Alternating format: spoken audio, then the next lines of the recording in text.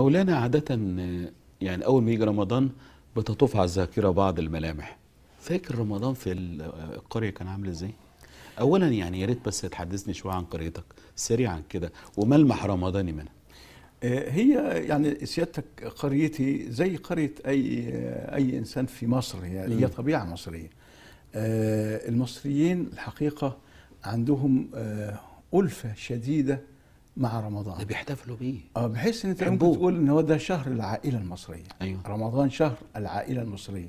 حتى لو كناش بنتجمع آه، في مناسبات تانية لكن في رمضان بن- بنجتمع جميعا آه، على مائدة واحدة على آه، صلاة واحدة على حديث واحد.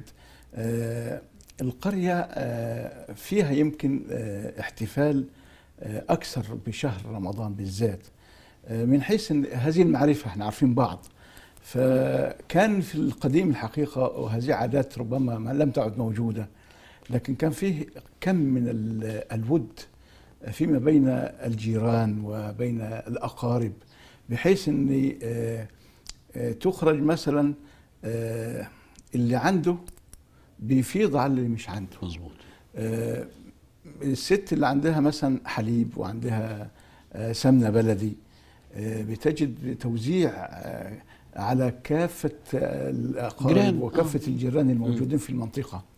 بحيث إن أنت في نهاية الأمر بتلحظ بأن الكل سواء في في هذا اليوم ده كان سلوك يومي في رمضان الحياة طبعا تغيرت لكن الملمح ان أن التكافل والتعاون والبحث عن الناس ومعرفة أحوالهم والتدقيق آه، ومحاوله القرب ومحاوله الوصال كل هذه معاني في الحقيقة نحن نحتاجها في شهر رمضان الآن ونحتاج أن ننبش على المحتاجين الذين لا يسألون.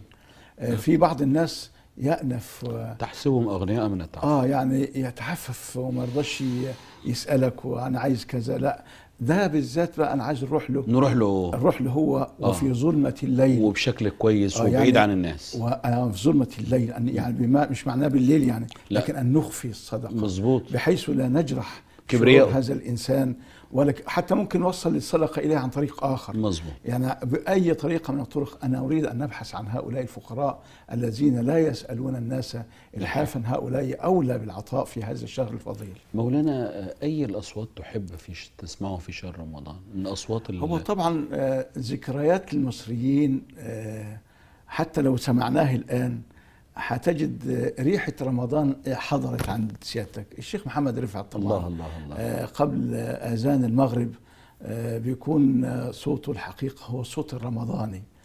آه، فقراء مصر جميعا لهم طعم خاص.